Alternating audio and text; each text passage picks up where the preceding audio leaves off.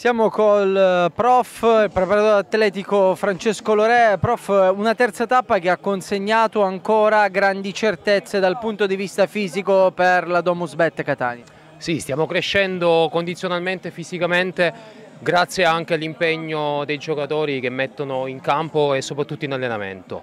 Lavoro molto svolto ai minimi dettagli, nei campi di direzione, nella forza esplosiva nella rapidità e soprattutto nella gestione del movimento negli spazi stretti che è fondamentale nel beach soccer, visto che lavoriamo e giochiamo su una superficie instabile che è la sabbia. Senti, che tipo di gruppo però hai trovato? Perché tu hai preso la squadra nell'ultimo mese, forse anche 20 giorni, qualcosa meno, però i ragazzi hanno subito trovato o hai trovato predisposizione da parte loro? Eh, diciamo che inizialmente sei sempre un nuovo arrivato, però grazie ai ragazzi abbiamo sposato subito la confidenza e l'amicizia e ho trovato un gruppo che veramente si impegna a 360 gradi in tutti gli allenamenti anche con queste condizioni climatiche che abbiamo in Sicilia. Preparatore atletico che certe volte deve anche coccolare ma dare anche bastone e carota no? agli atleti e allora due settimane di lavoro importantissime per arrivare alla finale di Supercoppa e poi alla Final 8. Cosa c'è nella, nella testa e nei piani?